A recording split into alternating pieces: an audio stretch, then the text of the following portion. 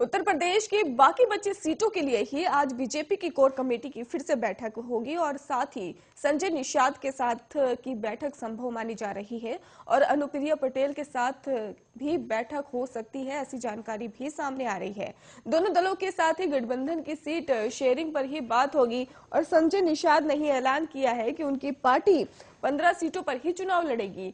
और निषाद पार्टी के अध्यक्ष संजय निषाद आज दिल्ली आ रहे हैं, जहाँ उनकी केंद्रीय गृह मंत्री अमित शाह और बीजेपी के प्रदेश चुनाव प्रभारी और केंद्रीय शिक्षा मंत्री धर्मेंद्र प्रधान से मुलाकात होगी। गठबंधन पर मुहर लगेगी। संजय निषाद ने कहा कि उत्तर प्रदेश में ही बीजेपी के साथ गठबंधन में निषाद पार्टी पंद्रह विधानसभा सीटों पर चुनाव लड़ेगी। निषाद पार्टी किन सीटों पर चुनाव लड़ेगी, इसके बारे में निर्णय सोमवार को, यानी की आज दिल्ली में ही बीजेपी के शीर्ष नेताओं के साथ चर्चा के दौरान किया जाएगा।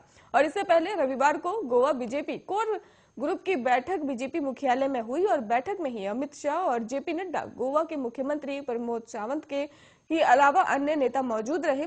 और गोवा के बाद उत्तराखंड कोर ग्रुप की भी बैठक बीजेपी मुख्यालय में हुई, जिसमें अमित शाह, मुख्यमंत्री पुष्कर सिंह धामी, प्रहलाद जोशी, दुष्यंत गौतम, लोकेट चटर्जी, रेखा वर्मा, प्रदेश अध्यक्ष मदनल कौशिक शामिल रहे।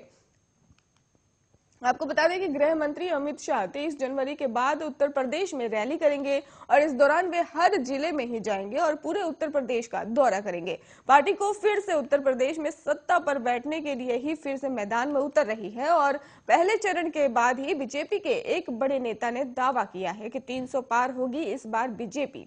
और पहले और दूसरे चरण के माहौल से कहा जा सकता है कि बीजेपी फिर से ही 300 पार सीट जीतने पर जा रही है और पहले और दूसरे चरण में ही बीजेपी पहली बार की तरह ही अभी तक घोषित सीट में ही तिरासी सीट फिर से जीतेगी।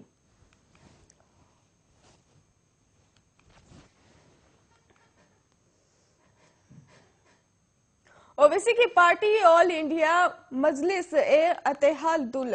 मुसलमान उत्तर प्रदेश के ही चुनाव के लिए अपने उम्मीदवारों की पहली सूची जारी कर दी है। और ये सूची, आपको बता दें कि पार्टी के ही प्रदेश अध्यक्ष शौकत अली ने ही जारी की है। पहली सूची में ही नौ सीटों के उम्मीदवारों के नाम है और इनमें से ही आठ सीटों पर दस फरवरी को पहले चरण में ही मतदान होना है और एक सीट पर ही 14 फरवरी को दूसरे चरण में वोटिंग होगी। आपको बता दें कि ओवैसी की ओर से भी जारी इसको लेकर गाजियाबाद की लोनी सीट पर ही डॉक्टर महताब उसके उम्मीदवार होंगे और हापुड़ की गढ़ मुकेतवे सीट पर भी फुरकान चौधरी और ढोलाना सीट पर ही हाजी आरिफ को ही उम्मीदवार बनाया गया है। मेरठ की सीवाल खास सीट से ही, रफत खान और सरधरा सीट से ही, जिशान आलम और किठोरे सीट से ही तस्लीम अहमद चुनाव लड़ेंगे। वहीं सहारनपुर ज़िले की बेहड़ सीट से ही अहमद और सहारनपुर देहात सीट से ही मरगुब हसन उम्मीदवार होंगे। बरेली ज़िले की ही बरेली सीट पर शाहीन खा, रजा खान ने भी उम्मीदवार बनाया गया है। और आपको ये भी बता दें कि उत्तर प्रदेश के विधानसभा चुनाव में अकेले चुनाव मैदान में है और उसने ही प्रदेश के 100 सीटों पर ही उम्मीदवार उतारने की घोषणा की है। इस पार्टी ने ही 2017 का चुनाव अठतीस सीटों पर लड़ा है, लेकिन सैतीस सीटों पर उसकी जमानत जब्त हो गई है। एमआईएम को ही इस चुनाव में ज़ीरो दशमलव चौबीस फ़ीसदी वोट मिले थे और यूपी के ही इसी साल हो रहे चुनाव के लिए एमआईएम ने ही पहले ओम प्रकाश राजभर की पार्टी से समझौता किया था, लेकिन बाद में ही राजभर में ही समाजवादी पार्टी से समझौता कर दिया। इसके बाद से ही एमआईएम यूपी की राजनीति में अकेले पड़ गई है।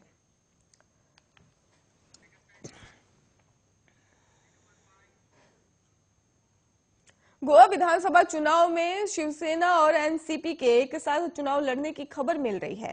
जानकारी के मुताबिक ही 18 तारीख को ही सीट शेयरिंग पर ही चर्चा की जाएगी और गोवा में ही शिवसेना और 10 से 15 सीटों पर ही चुनाव लड़ सकती है। आपको बता दें कि एनसीपी के ही वरिष्ठ नेता प्रफुल्ल पटेल 18 जनवरी को गोवा में सीट शेयरिंग को लेकर ही चर्चा करेंगे। उसके बाद कौन कितनी सीटों पर चुनाव लड़ेगा, ये साफ़ हो जाएगा।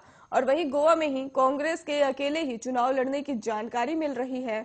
और वही शिवसेना के नेता संजय राउत ने टीएमसी और आम आदमी पार्टी पर बड़ा हमला बोल दिया है। उन्होंने टीएमसी को निशाने पर लेते हुए कहा कि गोवा में ही टीएमसी अपने आप में ही मुख्यमंत्री बन गई है। और गोरखपुर में भी आपको बता दें कि गौरतलब है, महाराष्ट्र में ही तीन पार्टियों की सरकार है। राउत ने कहा कि महाराष्ट्र में हम एनसीपी और कांग्रेस के साथ ही सरकार में है, लेकिन अभी गोवा में ही कांग्रेस के साथ सीटों का बंटवारा नहीं हुआ है तो उनकी भी कुछ मजबूरियाँ होंगी।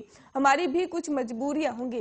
राउत ने आगे कहा कि हमारे उम्मीदवारों की सूची तैयार है, हम चुनाव लड़ेंगे अठारह जनवरी को और इस पर चर्चा होगी और उसके बाद ही हम उम्मीदवारों की सूची की घोषणा करेंगे। राउत ने दिल्ली के मुख्यमंत्री अरविंद केजरीवाल पर भी निशाना साधते हुए कहा कि दिल्ली में कोविड के मामले लगातार बढ़ रहे हैं, लेकिन उसको छोड़ मुख्यमंत्री गोवा में बिज़ी हैं। और दरअसल आपको बता दें कि इस समय ही दिल्ली के मुख्यमंत्री अरविंद केजरीवाल गोवा के दौरे पर हैं और वहाँ डोर टू डोर प्रचार कर रहे हैं।